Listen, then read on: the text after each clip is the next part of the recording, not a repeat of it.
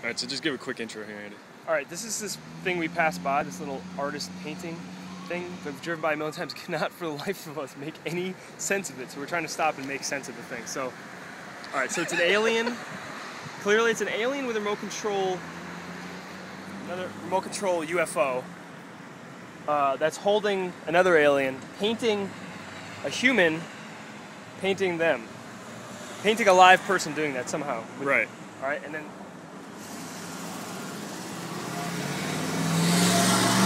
And then to this side, it's like uh,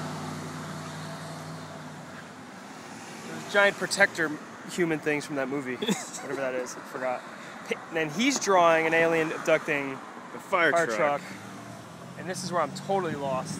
So now, okay, there's I didn't see this other guy down there in the corner. He's doing what? He's cowering for his life against this alien yeah. who's dreaming of shooting. Why you got a saw? Yeah, I don't understand the saw at all. This shit's half done too, cause uh, what's in his reflection there? Yeah, it's like the street. Oh, okay, that's fucking creepy looking. It's like a ghostly image of the street. yeah, I don't get it. What is that?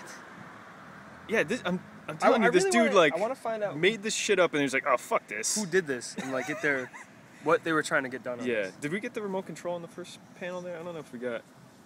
I think we got Yeah, this guy we saw there. that. And of course, in the end, he's happy controlling it all Yeah. with his remote control. So So this is Art in Stamford. yeah. Oh, it's right next to that side. Killer Lo- Oh, you know, something for the kids.